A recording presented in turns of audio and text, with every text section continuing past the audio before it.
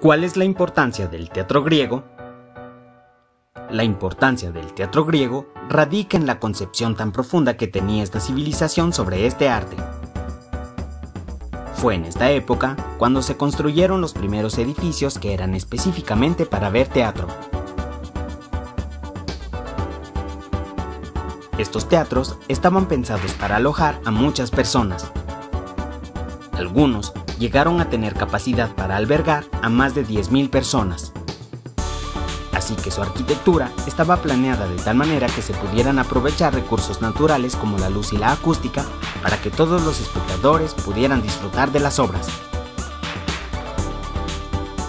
En la actualidad se conserva uno de ellos, el Teatro Epidauro.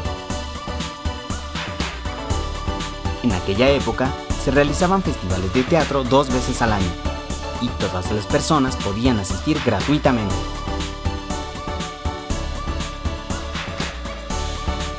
Para los griegos, el teatro era más que un simple entretenimiento, era motivo de aprendizaje.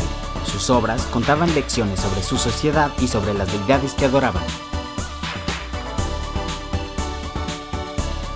Aunque fue muchos años después cuando se profundizó en las características del actor, en esta época los actores eran importantes y poseían sus propias bases a las cuales se regían para interpretar a sus personajes.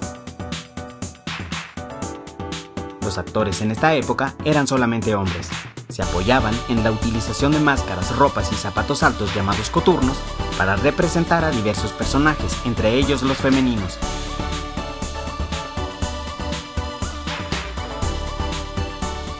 Sin embargo, la verdadera importancia de este teatro fue la palabra, es decir, el texto, las obras de gran calidad literaria que crearon.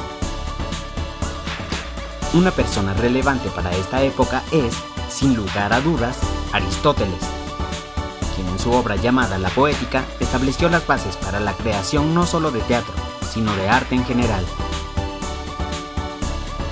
En resumen, el teatro griego es importante porque en él se sentaron las bases para todos los movimientos teatrales que surgieron después.